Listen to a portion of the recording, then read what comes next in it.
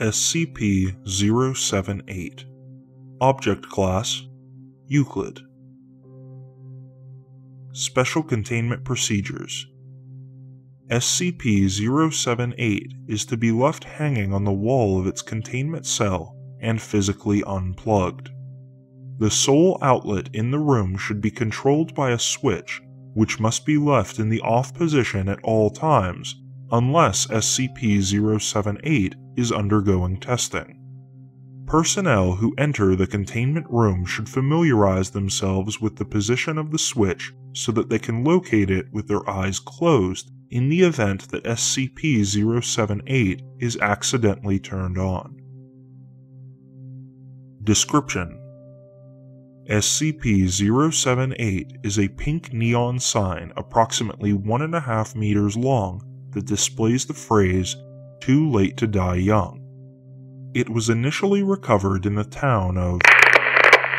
After Standard Foundation data mining protocols recorded an abnormally high death rate due to starvation or other forms of self neglect.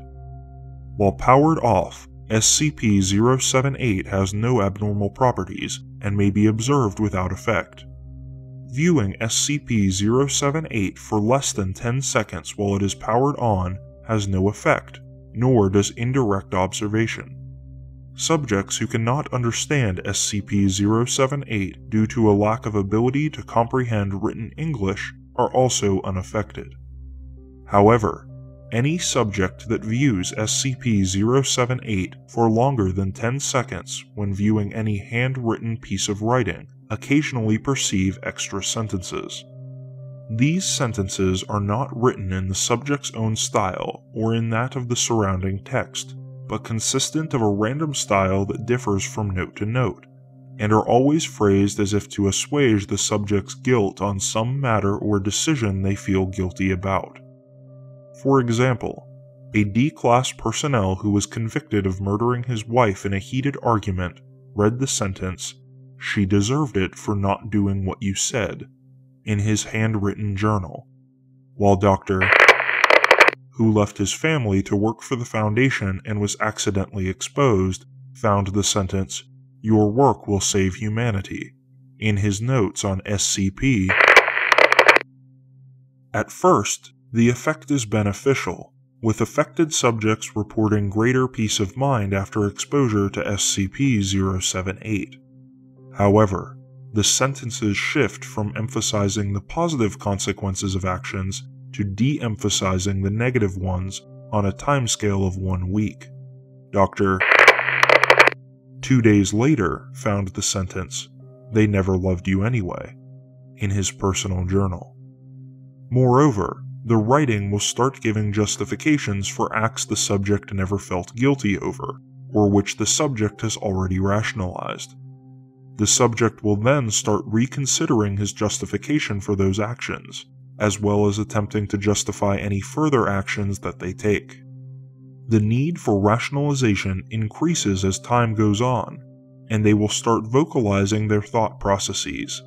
And by the end of one week, any task the subject performs more trivial than the basics of survival will induce a bout of neurosis as the subject attempts to rationalize why they did not instead take some other action.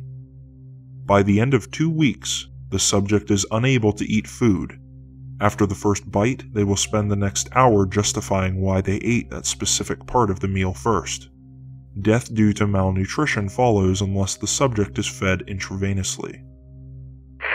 D class personnel who have reached this stage, as well as researchers who were accidentally exposed are kept alive for purposes of study and to see if a cure can be found.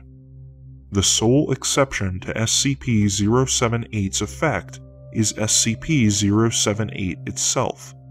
Any subject who views SCP 078 a second time will see it displaying increasingly more guilt inducing messages as duration since their first exposure increases. All subjects who have viewed it a week after initial exposure have attempted suicide. Addendum 078 01 D 19384 whose handwriting was an unusual mix of cursive and print, was exposed to SCP 078 and was then terminated after reaching the consequence free stage. Subsequently, other subjects have reported seeing sentences in the same cursive print mix.